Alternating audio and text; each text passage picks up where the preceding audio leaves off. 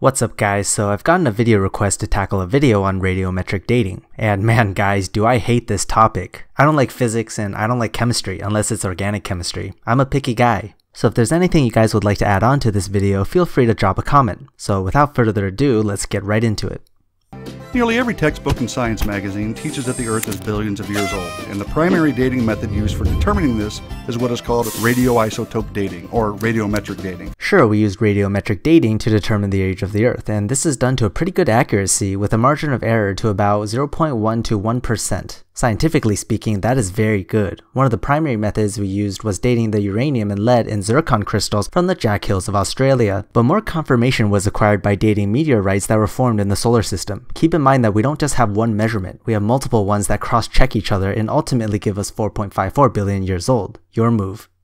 Now this is a reliable method for measuring absolute ages of rocks and the age of the Earth, right? You're goddamn right. Huh. First off, many scientists now regard the age of the Earth to be between 4.55 and 4.6 billion years old. Yeah. Okay, fine. We'll go with that. Okay.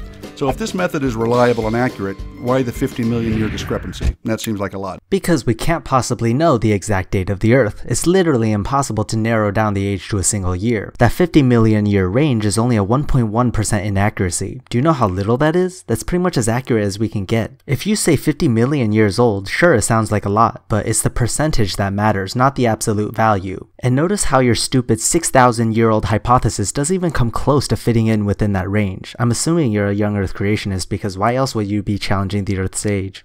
But let's get into some details here and see what's going on. Keep in mind that there's all kinds of scientific jargon on this topic, and so we'll just present a very straightforward, simplified version of the process. You guys ready to learn some science from a creationist? Radiometric dating is the process of estimating the ages of rocks based on the decay of radioactive elements in them. Basically, there are certain kinds of atoms in nature that are unstable and spontaneously decay into other kinds of atoms. For instance, uranium will radioactively decay through a series of steps until it becomes the stable element called lead. Okay, well, to be honest, he's presenting it pretty well. I'm going to keep rolling the clip until I have something I need to say about the video, but at this part he does give a reasonably informed presentation on radiometric dating. The original element is called the parent element, and the end result is called the daughter element. Radioisotope dating is commonly used to date igneous rocks, rocks which formed when hot molten material cooled and solidified. Okay, sure, we date igneous rocks, but that's not all we date, and I'm gonna shut the fuck up now and let the video play because I realize I nitpick too much. The dating clock started when the rock cooled. During the molten state, it is assumed that the intense heat forced any gaseous daughter elements to escape. Alright, no nitpicking. No nitpicking until later. You'll get your chance, Dick.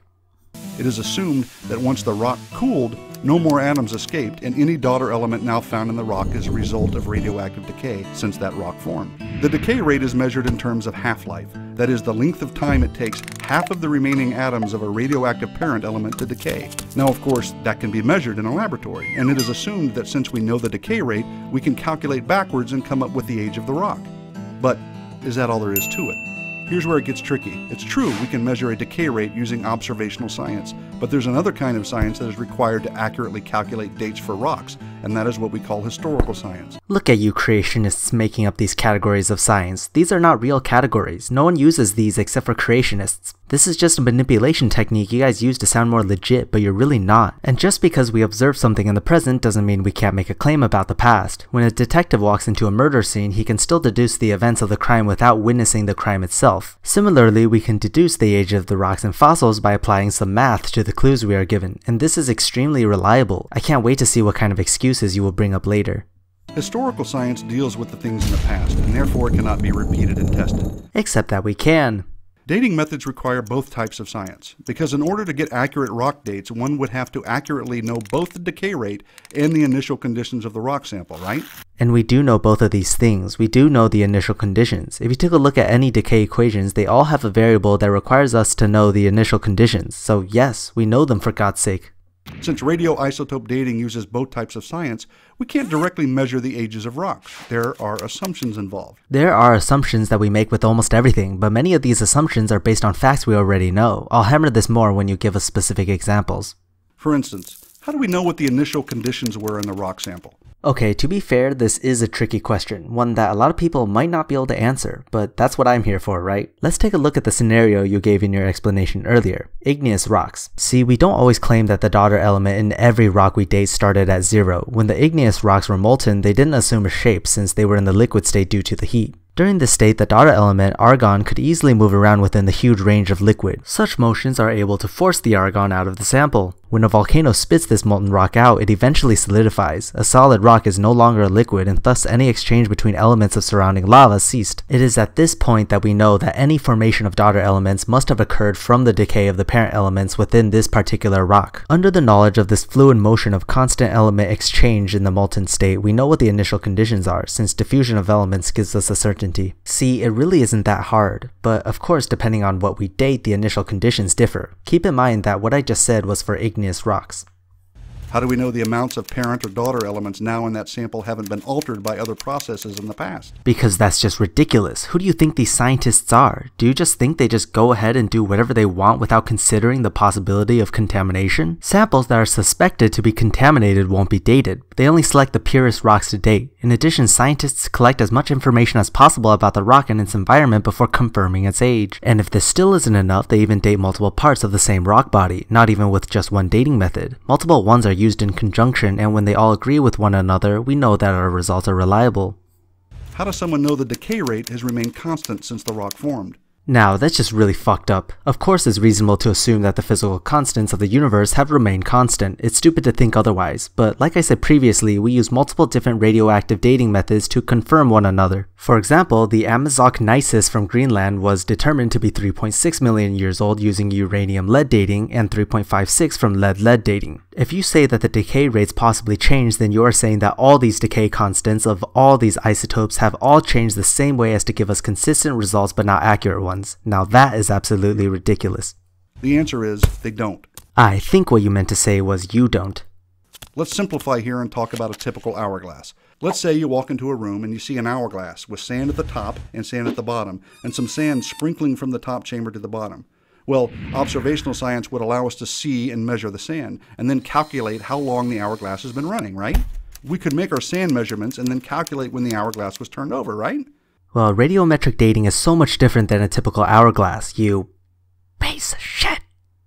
Well, those calculations could be wrong, because we may have failed to consider some major assumptions, like, was there any sand at the bottom when the hourglass was turned over? What? Well, your past self already debunked that point. Let me just play that clip again. The intense heat forced any gaseous daughter elements to escape. I feel like you can be knowledgeable or intelligent if you choose to do so, but instead you decided to be willfully ignorant.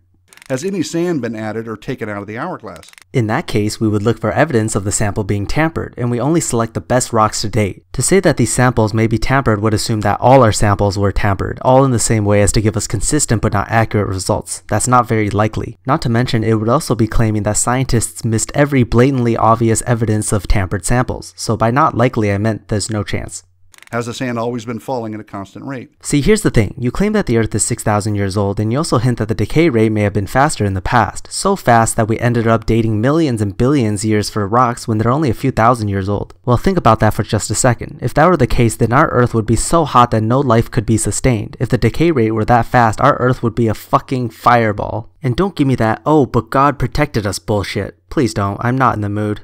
Since we did not observe the initial conditions when the hourglass started, and we haven't been watching the sand all the time since then, we must make assumptions. All three of those assumptions can affect our time calculations. Well, here's another hypothesis. Maybe you don't actually understand radioactive dating. Wow. I think I think that just explained it all. Now, of course, there's more to understanding all of this, but enough said. I'm glad that's over. You know, one thing I found funny was the title of your video. It says carbon dating 100% accurate, right? Not. Well then, may I remind you that you didn't even mention carbon dating. Carbon dating is the shit with the C14 and nitrogen and stuff. We don't use that to date fossils millions of years old. You just meant radiometric dating, didn't you? But don't worry, neither am I, but at least I'm not ignorant about it. Also, I can't help but think you stole this video from somewhere else. I don't know, Answers in Genesis? I only came to your video because this was a video request sent to me and he linked me to your video. But come on man, make some original content. There are plenty of ways to fail at attacking science. You could be the next Ken Ham. Alright, I'm tired. Time for me to go. See you all next week. It's been fun.